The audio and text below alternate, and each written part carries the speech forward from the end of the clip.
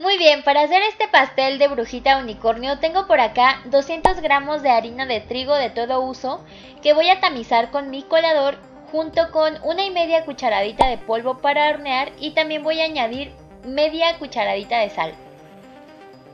Recuerda que de esta forma incorporamos un poco de aire y evitamos que se hagan grumos.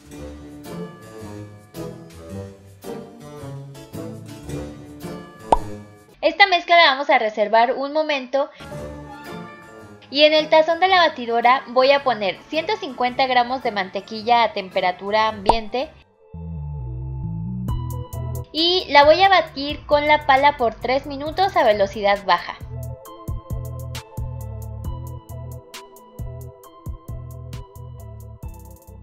Después voy a añadir 225 gramos de azúcar normal y seguiré batiendo 5 minutos más hasta cremar.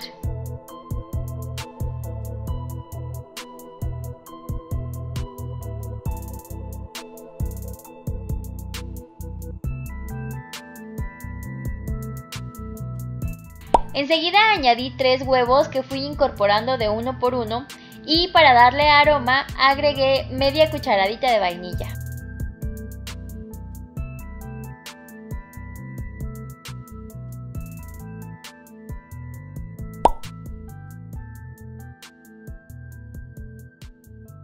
Aquí ya puedes cambiar la pala por el globo batidor y enseguida tienes que incorporar la harina, pero esta tienes que hacerlo alternándola con 150 mililitros de leche, siempre comenzando con harina y terminando con harina.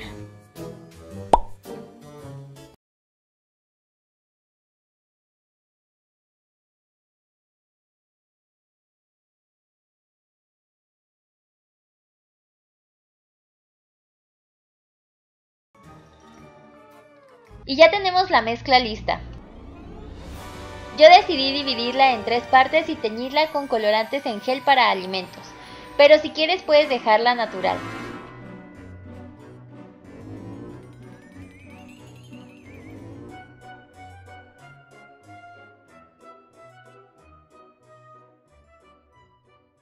Lleva a hornear durante 40 minutos a 180 grados centígrados o hasta que insertes un palillo en el centro del bizcocho y salga limpio. Cuando esté listo deja enfriar durante 10 minutos y desmolda. Y deja enfriar completamente antes de decorar. Yo emparejé solo uno de los bizcochos porque los otros dos salieron súper parejitos. Para armar el pastel comienza poniendo un poquito de betún en la base. El que yo estoy usando aquí es un frosting de queso crema y te dejaré el enlace a la receta en la descripción del video. Colocas la primer capa de bizcocho y agregas un poco de betún sobre ella. Lo esparces con cuidado de no tocar el pan e intentando llegar hacia la orilla. Y repites el mismo procedimiento con las capas restantes.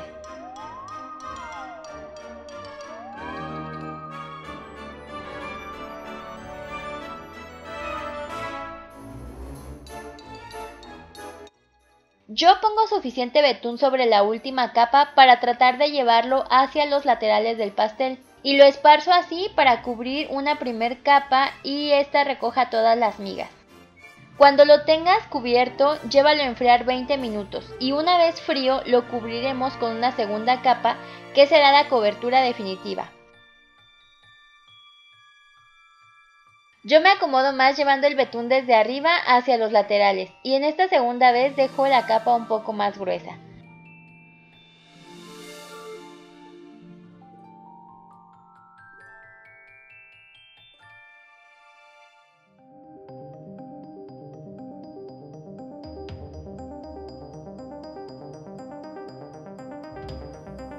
Para alisar uso esta lámina de plástico que paso alrededor del pastel. Y los bordes de arriba los emparejo con una espátula de ángulo que paso ligeramente de afuera hacia adentro intentando que quede parejo. Para hacer las decoraciones se usa muy poquito fondant y lo primero es hacer el cuerno, solo que empezaremos cortando antes un círculo en color negro. Será como la base del sombrero. Y ahora sí haremos el cuerno de esta forma pegándolo a un palito de brocheta.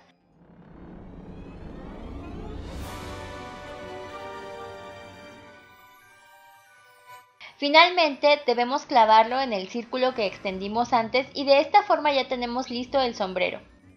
Podemos añadir detalles como un lacito de otro color para resaltar, y es más rápido usando moldes, pero si no tienes puedes hacerlo a mano.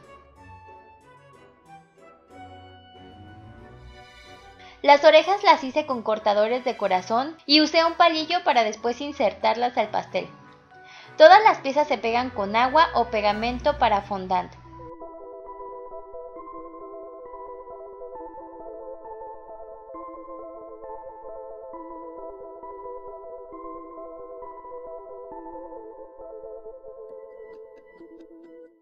Yo tengo aquí tres mangas con betún en tonos naranja y diferentes duyas de estrella, pero si quieres puedes usar un solo color. Puedes poner el glaseado que más te guste, incluso también puedes hacerlo con crema batida.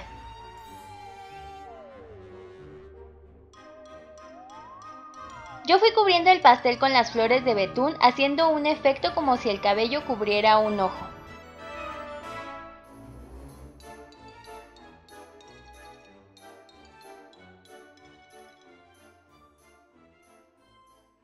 Finalmente colocas todas las piezas como el ojo, las orejas y el cuerno y ahora te voy a mostrar cómo queda el corte del pastel.